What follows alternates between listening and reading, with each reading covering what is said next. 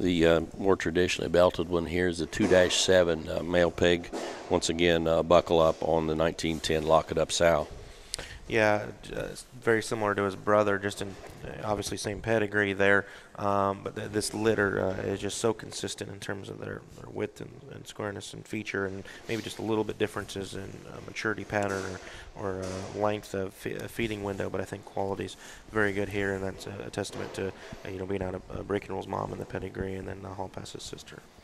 Yeah, just one that's solid. I mean, his elevation is really good. Very tall front and kind of a pig. A little slicker made with a really good length out in front of his blade. Uh, um, again, uh, kind of project one that, that's going to have some uh, have some length of uh, length of cannon to it, but still uh, have enough to him to kind of be one of those three-dimensional kind of hogs uh, that you could take on to a heavier weight and and still look really good in the end, uh, and still look good weekly because uh, of that kind of skull, and that kind of squareness, and that kind of bone work. Uh, 2-7 is the traditional belted male.